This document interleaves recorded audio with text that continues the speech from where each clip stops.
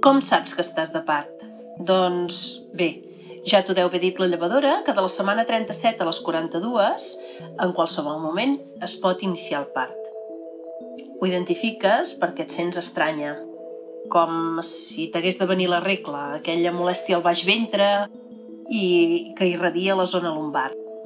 La panxa es posa dura mm, durant aproximadament un minut, de manera irregular, sense cap ritme. De totes maneres, cada dona és diferent i la sensibilitat al dolor també.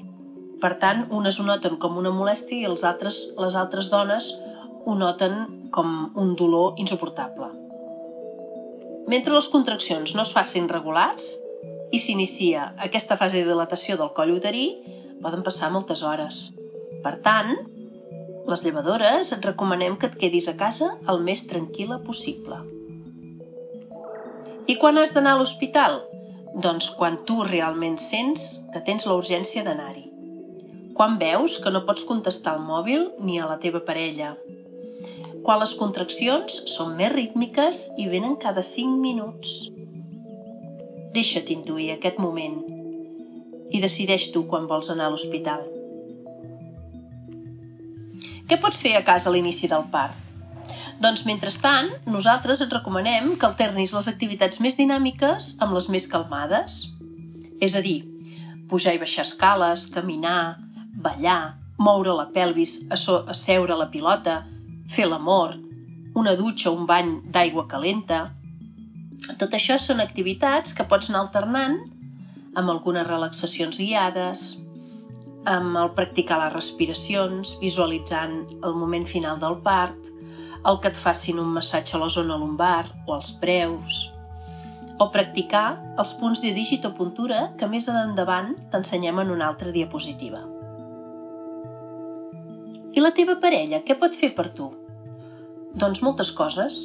Et pot posar música que t'agradi, una música alegre si estàs activa o més relaxant quan estiguis calmada, que et busqui relaxacions guiades per internet, que et faci massatge als peus, a les espatlles, a les lumbars, que sigui ell qui t'apreti els punts de digitopuntura, que et digui afirmacions positives, que t'ajudi a fer la relaxació, que et prepari algun menjar lleuger i energètic o aigua o begudes com un suc de fruita, que balli amb tu, que camini amb tu, que t'acompanyin les respiracions, marcant el ritme, o que et posi la bossa d'aigua calenta.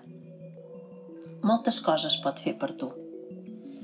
La digitopuntura serveix per rebaixar el dolor de la contracció o per estimular de nou les contraccions.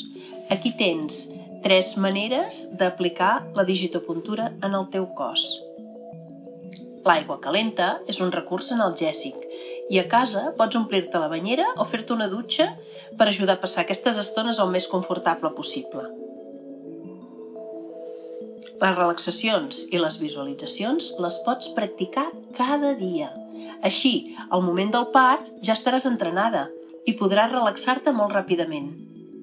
Pots buscar altres vídeos, com el de sofronització, per ajudar-te a entrar en relaxació. Així doncs, desitjo que tinguis un part bonic, tranquil i una vivència de part el més joiosa possible.